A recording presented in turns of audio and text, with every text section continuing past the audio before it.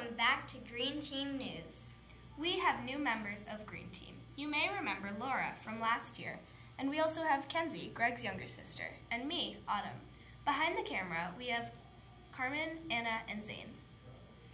We have a new team name, Dynamix 802, but are still continuing some of the same curriculum as last year.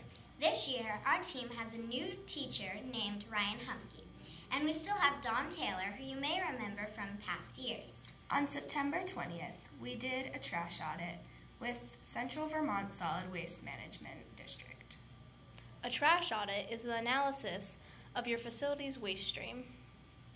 Some facts about a trash audit are There were 24 pounds of initial recycling in our classrooms, but only 21 pounds of it was actually recycling.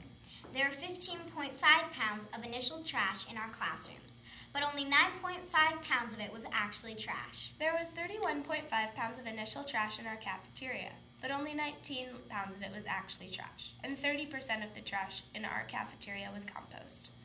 Next episode, we'll have some more information about the trash audit. We also have a committee called Another Way. They will be researching, designing, and eventually building a compost sort station. They will be working in partnership with our tech ed teacher, Mr. Miles, as well as other community members. We also have a Green Team newsletter this year coming out soon. We will have some of the same committees you will recognize from last year, and some new ones as well. Our drive committee is currently holding a drive for bottle caps, pill bottles, and batteries. You can drop these items off in front of the library. Our drive recycle materials that couldn't normally be recycled.